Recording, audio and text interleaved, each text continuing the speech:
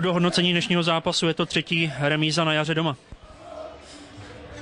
Těžko se mi to hodnotí, protože eh, ve všech třech utkáních eh, jsme měli vyhrát. Eh, ty první dva, co jsme hráli doma, jednoznačně tam jsme ji vedli, že jo, nebo respektive měli jsme daleko víc šanci a dneska taky si myslím, že bylo vidět, že jsme chtěli, ale prostě málo jsme byli důrazní v té 16. a pak se to trošku rozkouskovalo tím, že tady byla nějaká estráda, Golman dvakrát dostal křiče v 50. minutě, což je paradox, co jsem ještě ve fotbale neviděl. A prostě asi jsme vyšli z tempa a teď ten závěr byl takový hektický, škoda no.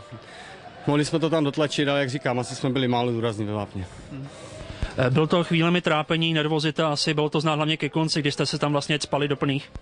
Tak samozřejmě, určitě to je nervozita, řešili jsme to zbrkle.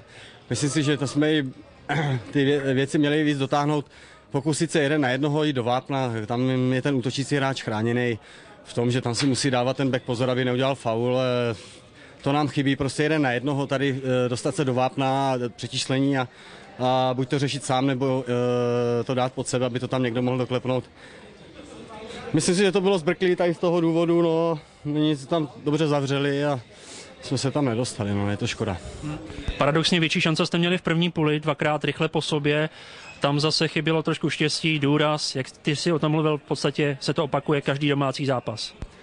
No tak abych neřekl, že uh, dneska jsme, myslím si, že s Bohemkou jsme měli uh, vyloženější šance uh, de facto já, že jo, jsem to tam měl dvakrát a dneska jsme byli méně důrazní, minule jsme se tam dostali a teď nám chyběl ten krok prostě ta obětavost tam jít v tom vápně i za cenu toho prostě, že tam jdu do kontaktu s tím obráncem, tam to bolí, ale jak říkám, útočit si hráč ve výhodě.